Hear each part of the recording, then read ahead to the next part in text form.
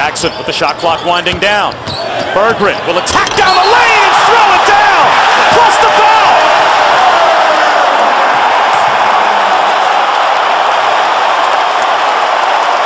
Wow.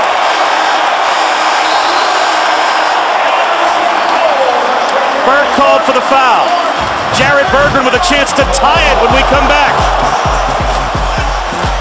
Was saying Mitch McGary was defending, and he was until that play. Just got whipped. Watch how quick. Whap right by him. Burke late getting over.